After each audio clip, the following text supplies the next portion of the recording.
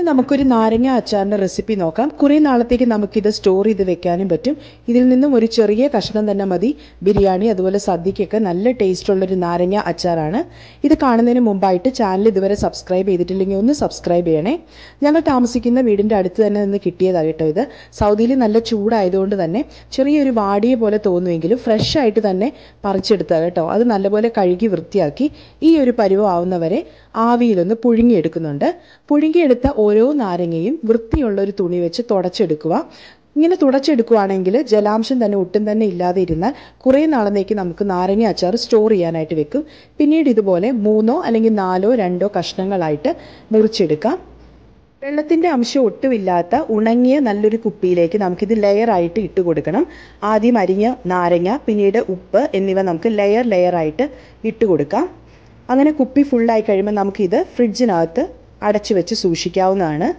ഞാനൊരു ഒരാഴ്ച വരെ സൂക്ഷിച്ചിട്ടുണ്ടായിരുന്നു. എന്നിട്ടാണ് ഞാനിത് അച്ചാർ ഉണ്ടാക്കാൻ എടുത്തത്.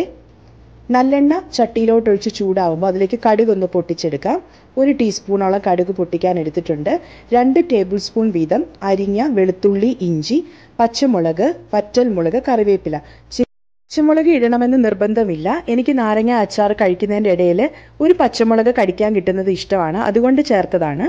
ഈ ഒരു പരുവം വരെ നല്ലപോലെ ഒന്ന് മൂപ്പിച്ചെടുത്തതിന് ശേഷം അഞ്ച് ടേബിൾ സ്പൂൺ കാശ്മീരി ചില്ലി പൗഡറും അതുപോലെ മൂന്ന് ടേബിൾ സ്പൂൺ സാദാ മുളക് പൊടിയും ചേർക്കുന്നുണ്ട്. നിങ്ങൾക്ക് എരിവനുസരിച്ച് ചേർത്ത് കൊടുക്കാം. അതുപോലെ നാരങ്ങയുടെ അരവനുസരിച്ച് ചേർക്കാവുന്നതാണ്.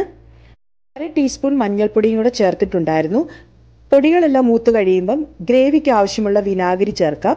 വിനാഗിരിയും ഉപ്പും ആവശ്യത്തിന് ചേർത്താൽ മതി. ഗ്രേവിക്ക് അനുസരിച്ച് നിങ്ങൾക്ക് വിനാഗിരി യൂസ് ചെയ്യാം.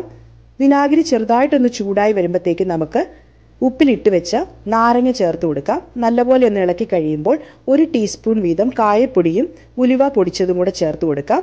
പിന്നെ എരിവും പുളിയും ഒക്കെ ബാലൻസ് ചെയ്യാനായിട്ട് ഒരു ടീസ്പൂൺ പഞ്ചസാര കൂടെ ചേർക്കുന്നുണ്ട്. അതെന്റെ അമ്മയുടെ ടിപ്പാണ്. അമ്മ പറഞ്ഞു തന്നാണ് കേട്ടോ? അങ്ങനെ പഞ്ചസാരയും ചേർത്ത് നല്ലപോലെ ഒന്ന് ഇളക്കിയെടുത്താൽ നമ്മുടെ നാരങ്ങ അച്ചാർ റെഡി. ഇഷ്ടപ്പെട്ട ചാനൽ സബ്സ്ക്രൈബ് ചെയ്യാൻ മറക്കല്ലേ. താങ്ക്